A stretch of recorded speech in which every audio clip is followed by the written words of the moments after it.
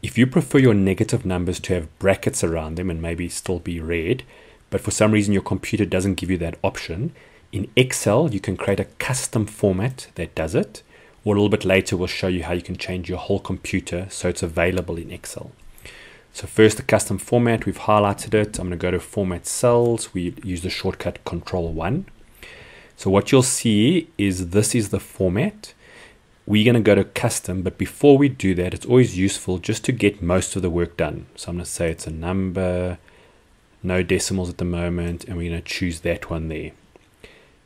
When I go to custom, what you'll see is this is the code that tells Excel a negative number has a negative sign in front of it, and we can change it. So to change it, I'm going to click in here.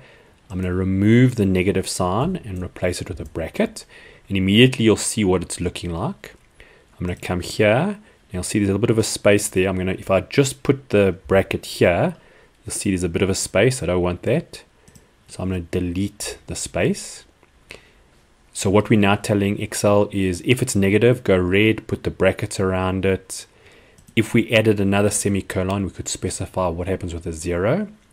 But for now, we're going to do this. And when I say OK, you'll see now it will be shown negative numbers as a bracket. And you just type a positive number in here and you'll see it has no brackets and it's in black text. So that's the first way to do it. If you'd rather have that the brackets are your main option, so you don't want a custom format every time, you need to change your regional settings, but be careful, it now changes all your regional settings. So to change your regional settings, we click on the start. I'm going to type region. I'm going to go to region settings. On the far right here, additional date, time, and regional settings. Over here, change date, time, or number formats. So you'll see this part here, we're going to go to additional settings. So you'll see here, we've got a few options, and you'll see where it says negative number format can click on that and I'm going to change it to include the brackets. Very important though is you must do the same thing with the currency. So if you go to currency, you'll see negative currency format.